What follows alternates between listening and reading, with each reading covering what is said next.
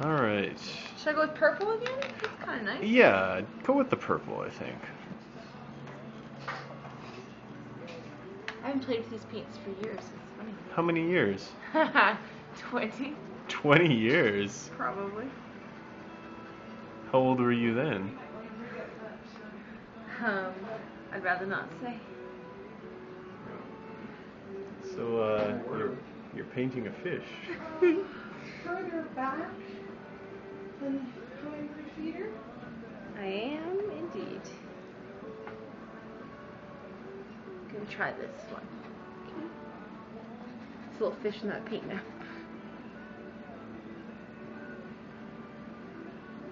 Where's it? Oh yeah, the first one. That's really quite good. It's not bad at all. I the head is was too hard really to You smush have it. to roll, roll it somehow. Yeah.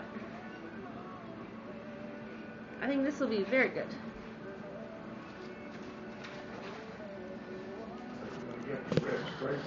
Ooh. Good thinking. When you stamp the fish, you can do whatever you want.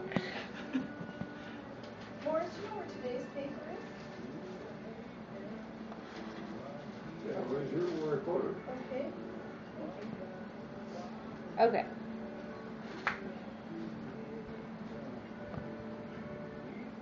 Okay, I want the ink to be more or less even. Hard to tell with that blue, but that's probably more or less. Okay. Ready? Yes. Fish stamping attempt number two. Oops, that paper. You should probably prepare your material beforehand. Oh, jeez. Oh, Slippery little sucker. Remember last time the tail didn't line up. I drew him diagonally.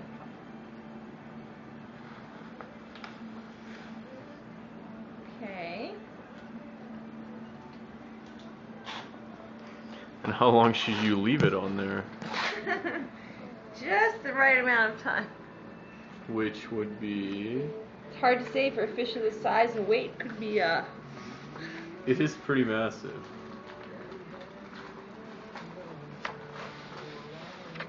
Secret is to do the head.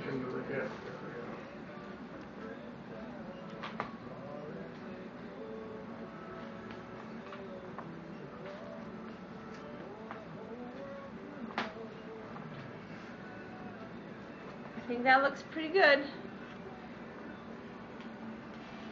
Ready? Oh, so sticky and gross.